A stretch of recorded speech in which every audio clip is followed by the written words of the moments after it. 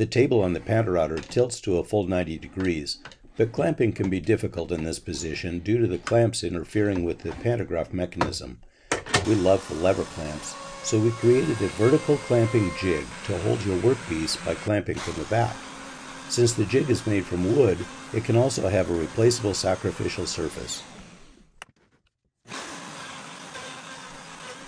The vertical clamping jig is an essential shop-built jig that allows easier vertical work holding making the PantoRouter's capabilities even more versatile.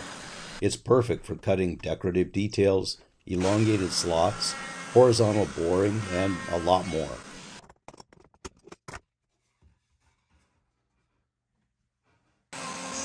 Follow along with the supplied drawings and templates and build one for your own shop. Go to the online store at www.pantorouter.com and download the drawings for free.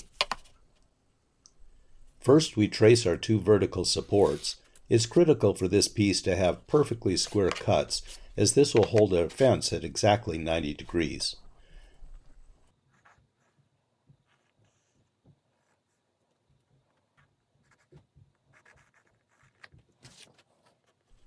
Make a mark to indicate which edge of the support will be on the table surface and which on the vertical surface. Transfer your center line from the PantoRouter table to the plywood piece that will be the vertical section of your jig. Make sure that the plywood is flush with the edge of the table on the operator's side. Use the full-scale drawing provided with the plans and align the bottom of the paper to the bottom of the plywood and the edge of the paper marks center line to the center of your wood. Use a transfer punch to mark your hole locations at each crosshair on the drawing. Now turn the paper over, keeping the same bottom and center reference edges aligned and mark the same hole pattern on the other half of your workpiece. Take this piece over to your drill press and drill holes on your marks with a 1 inch Forstner bit. We like to drill most of the way through the workpiece until just this center point of the bit protrudes through the bottom. Then flip the workpiece and finish the hole from the other side to get a clean hole with no tear out.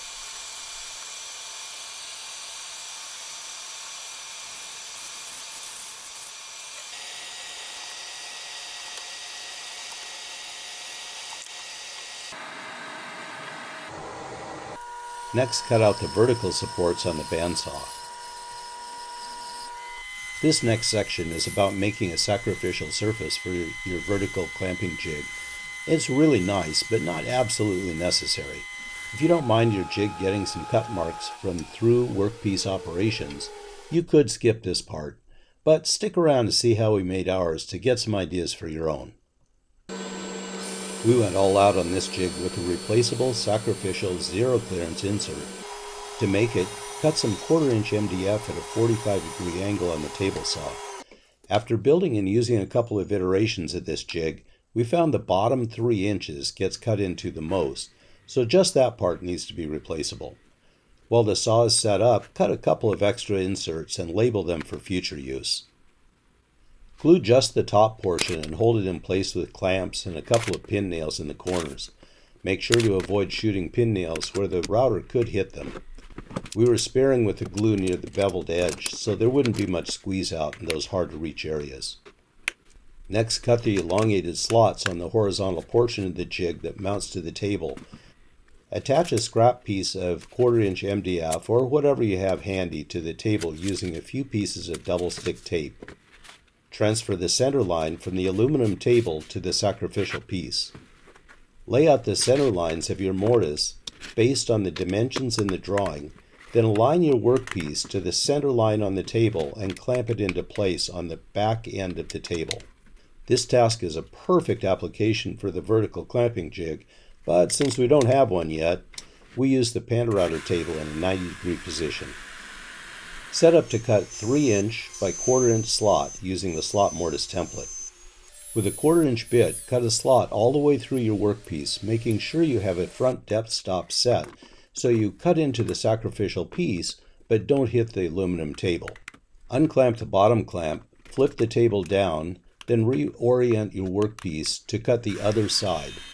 Reclamp and cut the second slot.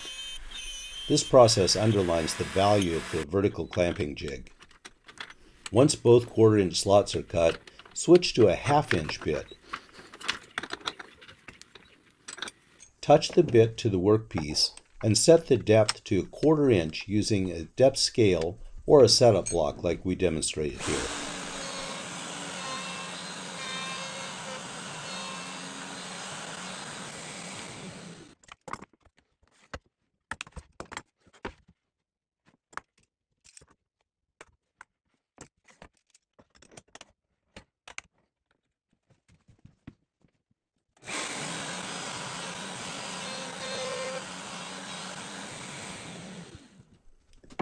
Now that the upper piece of MDF is glued to the vertical portion of the jig, we can fit the mating lower section. Mark it and rip down all of the sacrificial inserts to be flush with the bottom of the plywood.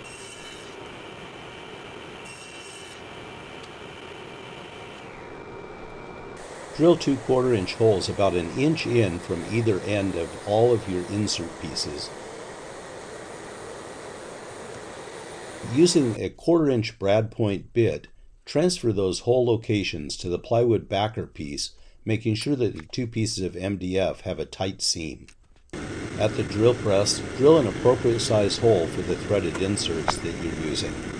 Offset the hole location approximately 32nd of an inch up from the mark that you made with the brad point. Countersink the holes in the plywood to make sure the threaded inserts don't sit proud of the plywood surface and countersink the screw holes in the MDF inserts as well. Once the threaded inserts are installed, you can test the fit. Notice how when the screws are tightened, the offset holes cause the seam between the insert and the upper piece of MDF to become flush and tight.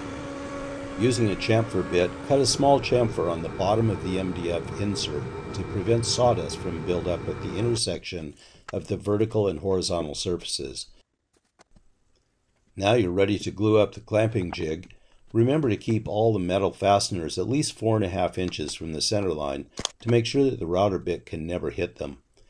You can chamfer the vertical supports as well to soften the exposed edges.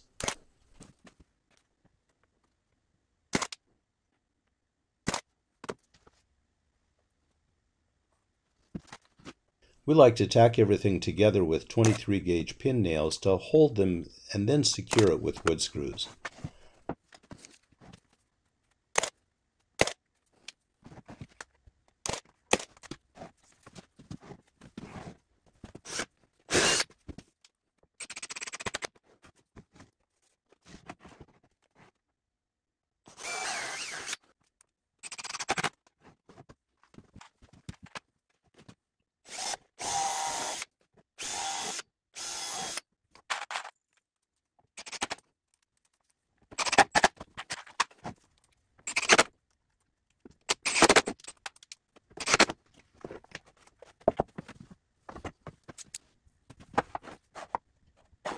Clamp the middle section that does not have the screws.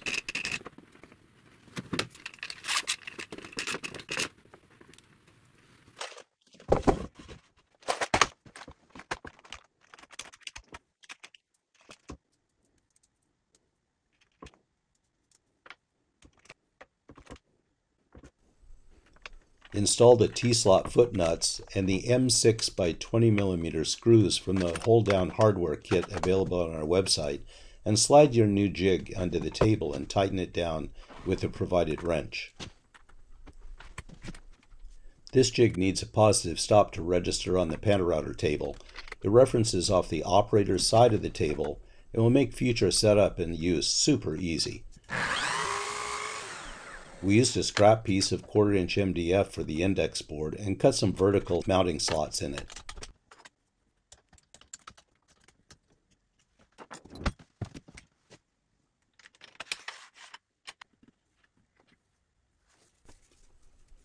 Before we can use the new vertical clamping jig, the MDF needs to be drilled, so this is a good time to take care of that.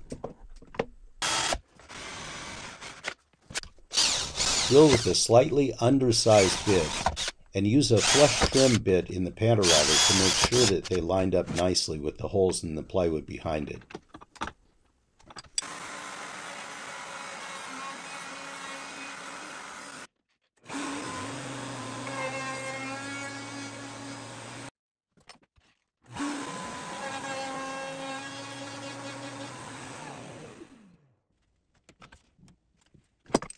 Now you can easily clamp your workpiece and cut some quarter inch vertical slots using the 1 inch template and the vertical template holder adapter.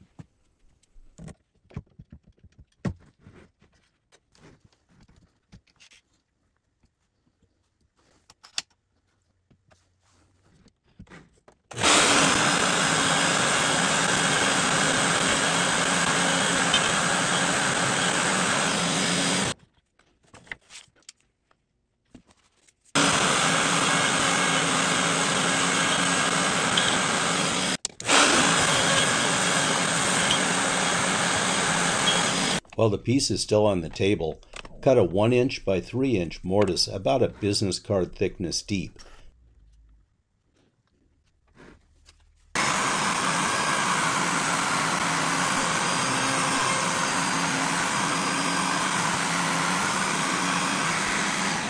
because the jig just simply would not function correctly without a recessed router sticker, right?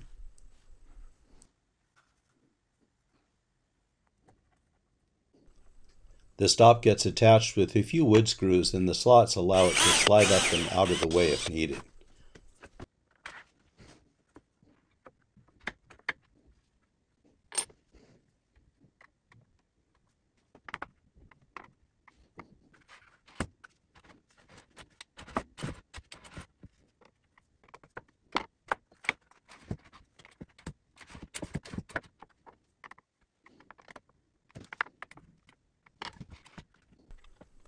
With the router unplugged and the pointer installed, insert the 6mm shaft of the guide bearing into the center hole of the template holder and scribe a center line on your jig.